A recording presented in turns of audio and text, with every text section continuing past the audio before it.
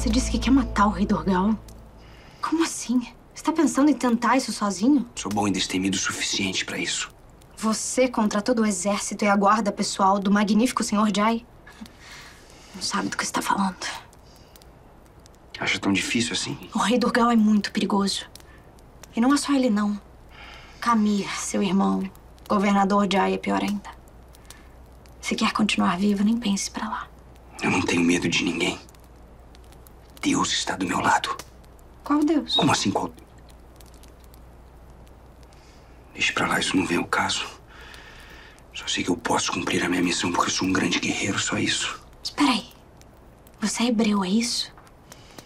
Está falando do Deus único dos hebreus. Está bem. É isso mesmo. Mas ninguém pode ficar sabendo disso. Vai ser o nosso segredo.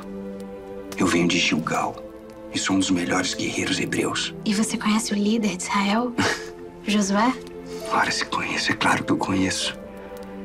Eu sou filho do grande general Caleb, o braço direito de Josué. E hei de depositar a cabeça de Turgal aos pés do meu pai e do nosso líder. Sempre ouvi dizer que os hebreus têm um grande exército. É a mais pura verdade. E por que veio sozinho? Correndo tanto risco? Para provar para todos, inclusive para você, que eu sou capaz dessa grande façanha. Isso não é façanha nenhuma. É uma loucura completa. Ninguém conseguiria sozinho. A corte de Ai é muito cruel e ardilosa, Iru. Por favor, desista dessa ideia. Miro. Vamos lá. E por que eu não deveria enfrentar todos esses perigos? É isso que um herói faria? Eu devo abrir mão do meu dever por uma mulher que eu mal conheço. Nos conhecemos há pouco tempo, mas já deu pra perceber que temos muito em comum. Logo vi que você era um grande guerreiro. Seja um herói. Sim. Mas seja o meu herói. Como assim? Me leve com você de volta pra Gilgal. Salve minha vida. E eu serei grata a você, Iru.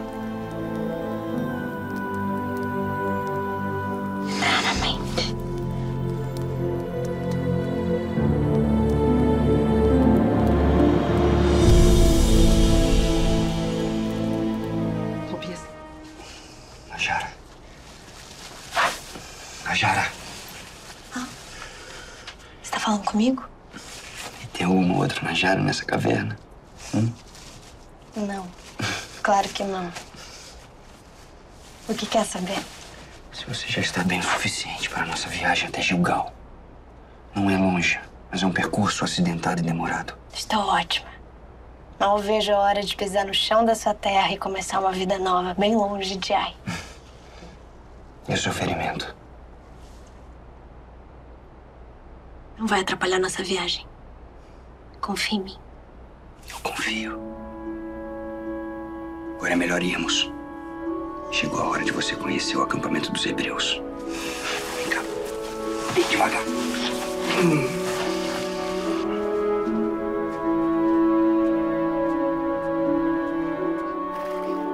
Estou pesada? De forma alguma. Por quê? É que você tá caminhando tão lentamente. Estou tentando prolongar esse momento. Um monte carregando no colo.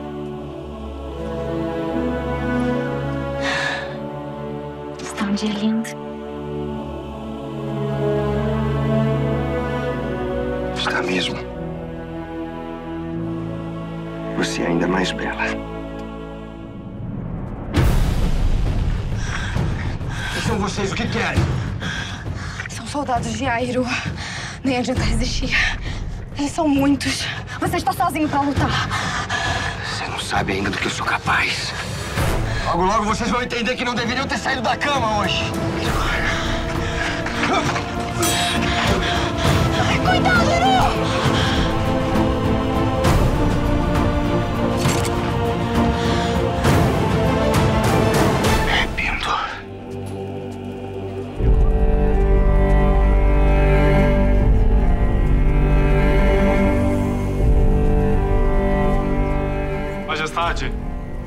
Boas novas.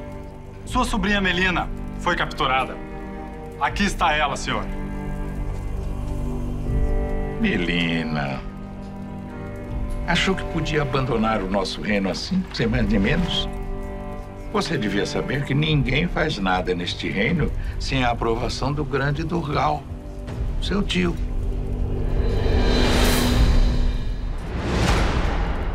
Então você tá de volta, sua infeliz. Você vai pagar muito caro pela humilhação que me fez passar diante da corte. Contenha-se, Yusuf. Ela é minha filha. E será punida com toda severidade. Mas quem decide isso sou eu. Yusuf,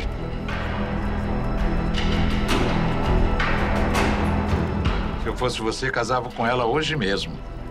Quem foge no dia do casamento é porque vai fugir a vida toda. Meu irmão está certo, como sempre. Vamos realizar já esse matrimônio.